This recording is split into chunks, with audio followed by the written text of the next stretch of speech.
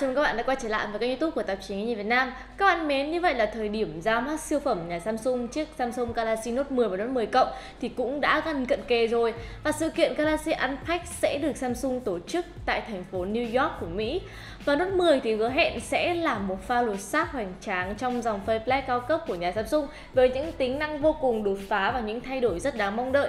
và trong video ngày hôm nay thì chúng ta sẽ cùng nhau điểm lại tất tần tật những tin đồn, những dò dỉ về một trong những chiếc smartphone đang được chờ đón nhất năm nay nhé. Đầu tiên thì chúng ta sẽ nói về thiết kế Dựa trên những hình ảnh bị lộ gần đây thì gần như chắc chắn là nút mở của chúng ta sẽ có diện mạo mới với các viền được thu gọn tối đa không chạy theo xu hướng camera thò tụt hiện nay thì Samsung vẫn lựa chọn cho mình giữ lại camera selfie truyền thống và đặt nó ở phần trung tâm của cạnh trên. Thông tin từ GSM Arena cho thấy là Galaxy Note 10 thì sẽ bị giảm độ phân giải màn hình xuống so với người đàn em Note 9 của mình từ Quad HD cộng xuống Full HD cộng và kích thước màn hình của model này sẽ là 6,3 inch với độ phân giải là 1080 x 2280 pixel cho tỷ lệ khung hình là 19 9 với trọng lượng sẽ là 168 gram và thế hệ Note 10 thì sẽ có thêm màu đỏ cũng như viên pin của nó sẽ là 3500 mAh. Ngoài ra thì cũng theo nhiều tin đồn thì bên cạnh bản Note 10 cơ bản thì chúng ta sẽ có thêm mẫu Note 10 cộng nữa với viên pin rơi vào 4.300 mAh và nặng khoảng 198 gram.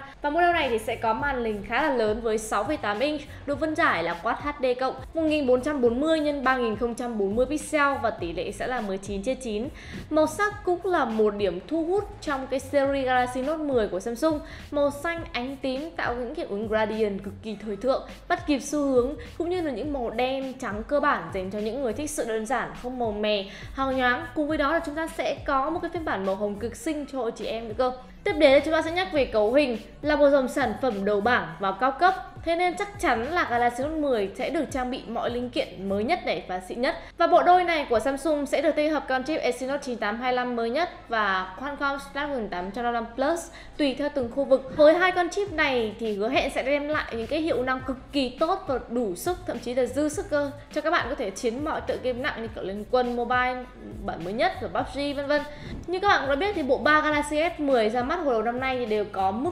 RAM tối thiểu là 8GB và bộ nhớ trong tối thiểu sẽ là 128GB Vì vậy mà không có lý do gì mà anh cả Note 10 sẽ phải chịu kém thua cả. Máy sẽ có RAM tối thiểu rơi vào khoảng 8GB và bộ nhớ trong sẽ là từ 256GB Và nhiều khả năng là thậm chí Note 10 của chúng ta sẽ có phiên bản 512GB và 1TB nữa. Thứ ba thì mình sẽ nhắc đến camera. Thì camera trên Galaxy Note 10 thì cũng sẽ có rất nhiều những cái thay đổi mới. Cụm camera dọc trên Galaxy Note 10 sẽ bao gồm 3 camera Gồm có một cam chính, một cam góc siêu rộng để chụp phong cảnh và một camera tele để chụp ảnh xóa phông. Lần lượt chúng sẽ có độ phân giải là 12, 12 và 16 megapixel. Ngoài ra thì hệ thống camera sau còn có thêm một cảm biến TOF 3D Time of Flight tương tự như Galaxy S10 5G. Nói thêm một chút về cái TOF này thì Time of Flight đây là một thuật ngữ nói chung cho một cái công nghệ đo thời gian bay của một thứ gì đó như kiểu là đèn laser, ánh sáng chất lỏng hay là hạt khí vân vân để di chuyển một khoảng cách nhất định và với cảm biến TOF này được kỳ vọng sẽ mang lại những cái trải nghiệm thực tế tăng cường AR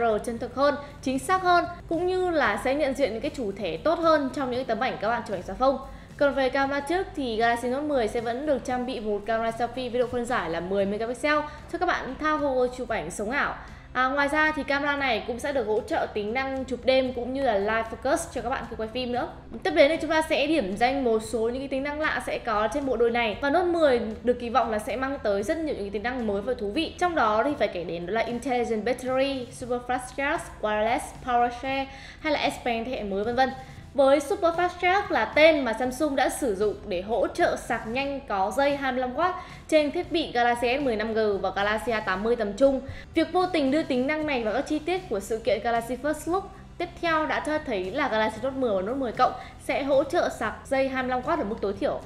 Tiếp đến là Wireless Power Share, thì đây là tính năng sạc không dây ngược được tìm thấy trên gòng Galaxy S10. Nó cho phép người dùng đặt một cái cặp Galaxy Boost hoặc là một thiết bị tương thích ở mặt sau của điện thoại và chia sẻ một lượng điện của điện thoại cho các thiết bị đó. Tiếp đến thì chúng ta sẽ nhắc đến tính năng Intelligent Battery, tức là tối ưu hóa pin điện thoại tùy thuộc vào từng các ứng dụng nào được mở cũng như là vị trí mà người dùng đang dùng. Bên cạnh đó thì máy còn có khả năng zoom âm thanh, tức là người dùng chỉ cần zoom vào khu vực cần nghe trên khung hình. Lúc đó thì máy sẽ tự khuếch đại âm thanh ở khu vực đó và giảm âm thanh ở vùng xung quanh đi. Và cuối cùng thì như mình cũng đã đề cập đó chính là bút S Pen S Pen thì vốn là linh hồn của dòng Galaxy Note rồi và có thể nói là không có đối thủ nào trên thị trường có thể cạnh tranh với gã khổng lồ này về công nghệ trên chiếc bút cảm ứng thần thánh. Và S Pen theo nhiều thông tin đồn đoán thì của cả hai thiết bị đều sẽ được hỗ trợ điều khiển không chạm như là bút ảnh này, tạo ra hiệu ứng âm thanh khi đang ghi chú vân vân. Trước đây thì các bạn đã biết là Galaxy Note 9 đã gây ấn tượng rất mạnh với cái khả năng hỗ trợ Bluetooth Low Energy BLE bằng S Pen thì là bạn có thể mở camera này,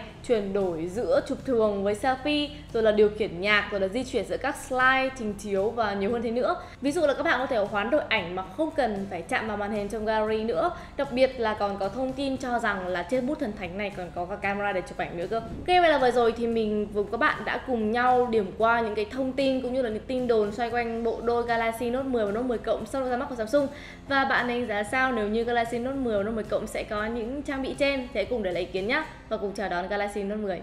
yeah. bye bye.